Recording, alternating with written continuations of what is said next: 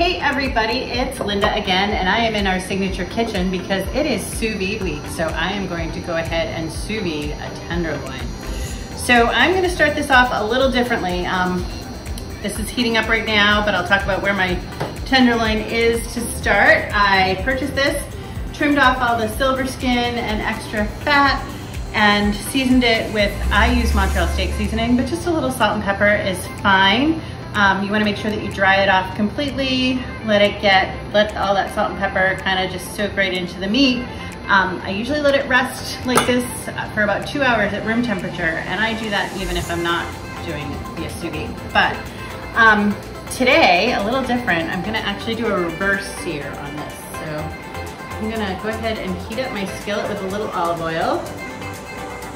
And we're gonna sear the meat before it goes in the sous vide. And I'm gonna sear this for about one minute to two minutes per side. I'm gonna get a nice crust on there, but you don't really wanna cook your meat.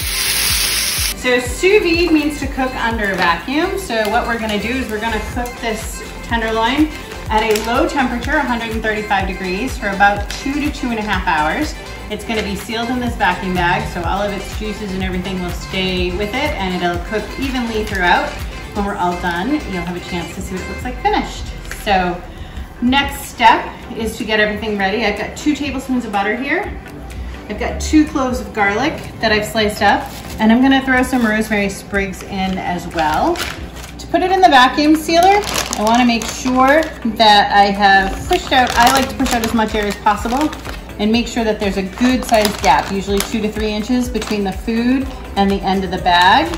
And I wanna make sure that this little drip tray is in place if you have one of these FoodSaver food sealers because that's gonna collect any juices that get sucked out in the vacuum sealing process. You'll see the power light comes on and then I'm going to hit my vacuum seal button. So I preheated my sous vide to 135 earlier today. That is all set and I am going to go ahead and place my vacuum sealed bag right in there. Cover this up and come back and check on it in two hours. So it looks like it has been about two and a half hours or so. We are going to pull this beautiful tenderloin out of the sous vide bath. So I'm gonna turn this off. To very carefully lift the bag right out onto my tray over here. Dump this right out of the bag onto the tray. Because we seared this ahead of time, the outside is a little brown, um, but we're gonna go ahead and give it another sear at this point, and that will brown the rest of it. This is really nice. It heats up super quick because it is induction. So I am just gonna go ahead and put this right up on the griddle.